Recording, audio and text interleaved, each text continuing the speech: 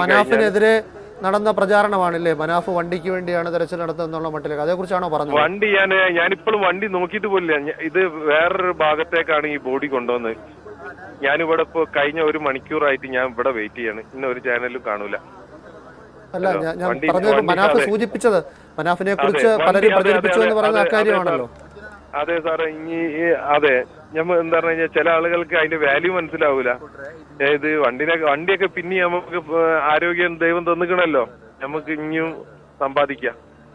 ഞമ്മൾ ഞമ്മൾ ഈ കാര്യത്തിൽ ഒരു അർജുൻ മാത്രമുള്ള ഉദ്ദേശത്തിൽ നിന്നതാണ്. അത് ഇനിയിപ്പോ അഥവാ ഇന്ന് കിട്ടിയില്ല ഇനി രണ്ടു കൊല്ലം കഴിഞ്ഞിട്ടാണ് കിട്ടണമെങ്കിൽ രണ്ട് കൊല്ലം കഴിയുന്ന വരെ ഇവിടെ ഉണ്ടാവും. അത് ഞാൻ ഒരു കൊടുത്ത വാക്കാണ്. വാക്കിനെക്കാട്ടിയും വലുത് വേറെ ഒന്നുമില്ല അത് ഞാൻ പാലിക്കുക തന്നെ ചെയ്യും. അതാ അമ്മയ്ക്കും അച്ഛനും കൊടുത്ത വാക്കാണല്ലോ അർജുന്റെ തീർച്ചയായിട്ടും തീർച്ചയായിട്ടും. ആ കുട്ടീന്റെ മുഖത്ത് നിന്ന് ആ കുട്ടിക്ക് വലുതായിട്ട് ആ കുട്ടി ചോദിക്കുകയാണ് മനാഫ്ക നിങ്ങൾ തോറ്റുപോയി എന്ന് പറയാ ഇടവരുത്തിയില്ല. അതന്നെ. സങ്കടകരമായ കാര്യമാണ്. പ്രത്യേകിച്ച് പ്രത്യേകിച്ച് നിങ്ങളെ ഒന്ന് രണ്ട് ചാനലുകളാണ് ഇതിനെ ഉയർത്തി കൊണ്ടുവന്നത് അത് ആ കടപ്പാട് ഇന്റെ ഭാഗത്തുനിന്നും അർജുന്റെ ഫാമിലിന്റെ ഭാഗത്തുനിന്നും എപ്പോഴും ഉണ്ടാവും. ഏഷ്യാനെറ്റ് ന്യൂസിനോടാണ് അർജുന്റെ സഹോദരി ഈ M K Raghavan M P A കണ്ട ശേഷം ആ വീട്ടിൽ വെച്ച് സംസാരിച്ചത്. അങ്ങനെ ഏഷ്യാനെറ്റ് ന്യൂസ് ആണ് അത് കൊടുത്തത്. ഞാനും ഞാനാണ് കൂടെ ഉണ്ടായിരുന്നത്. ഞാനാണ് വിളിച്ചു വരുത്തിയത്. ഞാൻ അതായത് കൂടെ എം- കെ രാഘവൻ സാറോടും ഓഫീസിലെ സ്റ്റാഫുകളോടും ആ കാര്യത്തിൽ തീർത്താ തീരാത്ത നന്ദിയുണ്ട്. അവരാണ് നമുക്ക് ആ ദിവസം രാത്രി ആ സമയത്ത് പോലും എന്താ പറഞ്ഞു കഴിഞ്ഞാൽ ഏഹ് നിങ്ങളെ ചാനലുകളെ വിളിച്ചു തരാനും നിങ്ങളും റിപ്പോർട്ടർ ടി വി ആ സമയത്ത് വന്നത് അതിലൂടെ നമുക്ക് കാര്യങ്ങൾ പറയാനും കഴിഞ്ഞ് ജനങ്ങളെ അറിയിക്കാനും കഴിഞ്ഞ് അത് കഴിഞ്ഞ അപ്പാടെ തന്നെ എനിക്ക് അവിടുന്ന് പുറപ്പെടാനും കഴിഞ്ഞ് എല്ലാം എന്താ പറഞ്ഞു കഴിഞ്ഞാൽ ഒക്കെ ദൈവത്തിന്റെ ഒരു നിശ്ചയം ഉണ്ടാവുമല്ലോ. അത് പ്രകാരം നടന്ന് ജീവനോടെ കിട്ടുന്നു പ്രതീക്ഷിച്ചിരുന്നു. അത് കിട്ടിയില്ല അതൊരു ഇതുണ്ട്. മറ്റുള്ള ആളുകൾ പറഞ്ഞ് ഇനി എന്തിന് എന്നുള്ള ചോദ്യം ഉണ്ടായിന്. പല ചാനലുകളിലും കമന്റുകളിലും ഞാൻ കേട്ടിരുന്നു. ഈ ചോദ്യങ്ങൾക്കൊക്കെ എന്താ പറഞ്ഞ സ്വന്തം വീട്ടിൽ നിന്ന് പോകുമ്പോൾ മനസ്സിലാവും എന്തിനെന്നുള്ളത് തെരച്ചിൽ തെരയന്നെ വേണം. ഞാൻ ജനാധിപത്യ രാജ്യത്താണ് ഞാൻ ജീവിക്കുന്നത്. ഇന്റെ രാജ്യത്ത് ഞമ്മളാണ് രാജാവ്. ആരാ ആ അതുകൊണ്ടാണല്ലോ രാജ്യത്ത് മനാഫെ ഇപ്പൊ മനാഫ് കാണുന്നതല്ലേ? ഏഷ്യാനെറ്റ് ന്യൂസിന്റെ തന്നെ മൂന്ന് റിപ്പോർട്ടർമാർ മൂന്ന് ക്യാമറാമാൻ നാല് അതെ, ക്യാമറാമാന്മാർ ആയിരുന്നല്ലോ ഈ ഉണ്ടായിരുന്നത്. ഈ സമയത്ത് പോലും. എല്ലാ ചാനലിലുള്ളവരും ഒരു ഇപ്പൊ നിങ്ങളെ ഫൈസൽക്ക നിങ്ങളെ ചാനലിലെ കാസർഗോഡ് റിപ്പോർട്ടർ ഫൈസൽ ബിൻ മുഹമ്മദ്. അതെ അതെ ഫൈസൽ ബിൻ മുഹമ്മദ്. പുള്ളിക്കാരനൊക്കെ പറഞ്ഞു കഴിഞ്ഞാൽ ആ ദിവസം മുതൽ ഇവിടെ നിന്ന് കഷ്ടപ്പെട്ടിക്കണ് ഇന്നലെ വരെ ഇന്ന് രാവിലെ വരെ ഇവിടെ തന്നെ ഉണ്ടായിരുന്നു അപ്പൊ എന്താ പറഞ്ഞു കഴിഞ്ഞാൽ തളർന്നു പോകും ഈ കാലാവസ്ഥ. ഒരു ഇവിടുത്തെ കാലാവസ്ഥ പ്രവചിക്കാൻ കഴിയാത്ത ഒരു കാലാവസ്ഥ. സമയം ഇപ്പൊ ആറു മണി ഇവിടെ തണുപ്പ് തുടങ്ങി. മഴ തണുപ്പ് വെയിൽ ഇങ്ങനെ മാറിക്കളിക്കുന്ന ഒരു കാലാവസ്ഥ ഉള്ള രണ്ട് മലകൾക്കിടയിലുള്ള ഒരു സ്ഥലമാണ് ഈ ശിരൂര്.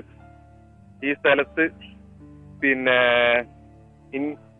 ഭയങ്കര ഒരു പ്രയാസമുള്ള സ്ഥലമാണ്. ഇവിടെ വെച്ച് എല്ലാരോടും ഞാൻ നന്ദി പറയുന്നത് ആദ്യ കാലങ്ങളിൽ വന്ന റെസ്ക്യൂ പ്രവർത്തകരെയും എല്ലാരെയും ഞാൻ ഈ സമയത്ത് രഞ്ജിത് ഇസ്രായേൽ ആയിക്കോട്ടെ എല്ലാവരും ഉദ്ദേശം ഒന്നേ ഇനി പ്രവർത്തിച്ചത് ചെറുങ്ങനെ പാളിപ്പോയത് അതൊന്നും അതൊക്കെ ഈ ഇതിന്റെ ഭാഗമാണ് എല്ലാരെയും ഞാൻ മനസ്സുകൊണ്ട് ഞാൻ ഓർക്കുന്നുണ്ട്.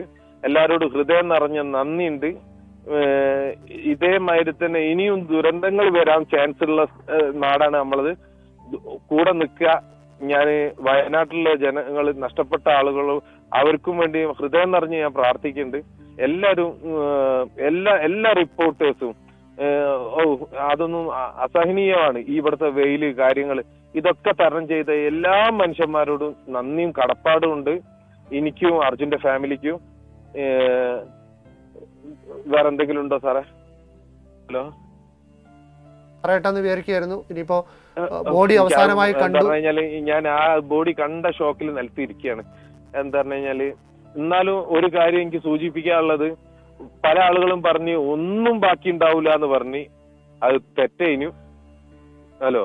കേൾക്കാം മനാഫെ പറഞ്ഞോളൂ. ആ ഒന്നും ബാക്കിയില്ല എന്ന് പറഞ്ഞ ആളുകളോട് കുറെ ഒരുപാട് ബാക്കിയുണ്ട് ഇനി അതും കുറ്റം പറഞ്ഞ് നടക്കുന്ന ആളുകളോട് എനിക്ക് പറയാനുള്ളത് ബാക്കിയില്ല എന്ന് പറഞ്ഞത് തെറ്റാണ്. ഹലോ? ചോദിക്കുന്നത് ശരിയല്ലെങ്കിലും ഇത്രയും പറഞ്ഞുകൊണ്ട് ചോദിച്ചു പോവുകയാണ് മനാഫ്. അപ്പൊ ശരീരത്തിന്റെ ഏതാണ്ട് മുഴുവൻ ഭാഗങ്ങളും ഉണ്ട് അല്ലേ? അതെ ഉണ്ട്. ഹലോ ഉണ്ട്. പരിക്കിന്റെ പ്രശ്നമുള്ളൂ. ഹലോ.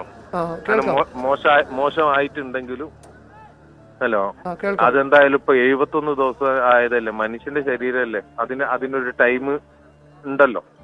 വെള്ളത്തിനടിയിൽ എഴുപത്തൊന്ന് ദിവസം കിടന്നിട്ട് പോലും ശരീരം ഏതാണ്ട് മുഴുവനായി ഉണ്ട്. ഓ ഉണ്ട്. അതായത് ഒരു മനുഷ്യ ശരീരമാണെന്ന് തിരിച്ചറിയും വിധം. ഓ ഓ തീർച്ചയായിട്ടും തീർച്ചയായിട്ടും. അതും അത്ഭുതകരമാണ്. കാരണം ആരും പ്രതീക്ഷിക്കുന്നതല്ലോ അതെ അതെ. ഒരുപക്ഷെ ഈ ലോറിയുടെ ക്യാബിനൊക്കെ ആയതുകൊണ്ടാവും കാരണം മറ്റേ ടാങ്കറിന്റെ ക്യാബിന്റെ അല്ല, ക്യാബിനൊക്കെ ക്യാബിന്റെ അല്ല ഞാൻ ഞാൻ എപ്പോഴും പല സ്ഥലത്തും പറഞ്ഞിരിക്കണ്. നമ്മളെ വണ്ടി അധികം പരിക്കില്ല പരിക്കില്ല എന്നുള്ളത്.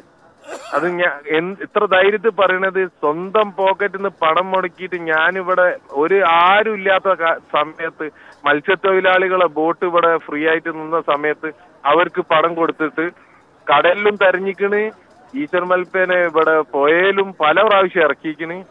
അപ്പോഴൊന്നും ഞമ്മക്ക് ഇത്രയും പാർട്സുകൾ നമ്മളെ ഭാരത് ബൻസിന്റെ ആ പാർട്സുകൾ അധികം കിട്ടിയിട്ടില്ല. ആ ആ ഒരൊറ്റ ധൈര്യത്തിന്റെ പുറത്താണ് ഞാൻ വീണ്ടും വീണ്ടും പറഞ്ഞത്. നമ്മളെ വണ്ടി ചിന്നി ചിന്നിച്ചിതറിയിട്ടില്ല എന്നുള്ള കാര്യം. പരിക്കുകളുണ്ട്. വണ്ടിക്ക് എന്തായാലും പരിക്കുണ്ടാവും. ഇപ്പൊ കല്ലല്ലേ വീണ് പൂവൊന്നല്ലല്ലോ വീണ്.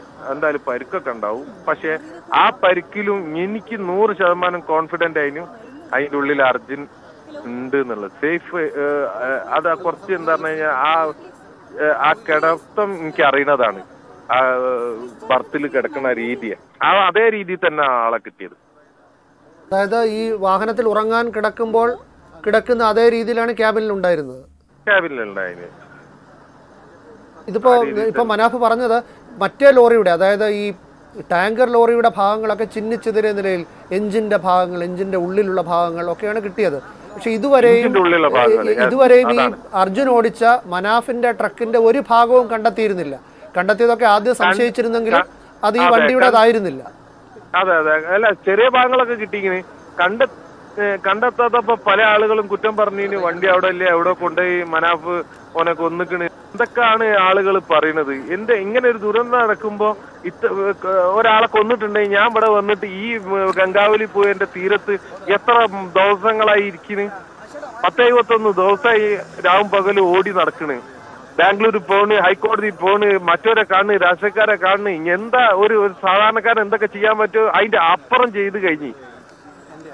കുറ്റം പറയാൻ ആളുകൾ ഉണ്ടാവും അവസാനം ഇപ്പൊ വണ്ടി കട പോയെന്ന് കിട്ടിയപ്പോ ഇനിയിപ്പോ നിങ്ങളെ ഈ ചാനലിന്റെ കമന്റ് ബോക്സിൽ നോക്കിക്കൊണ്ട് ഇന്നലെ രാത്രി കോനാഫ് അവിടെ കൊണ്ടുവന്നിട്ടാണെന്നും പറയും. അതും കേൾക്കേണ്ടി വരും.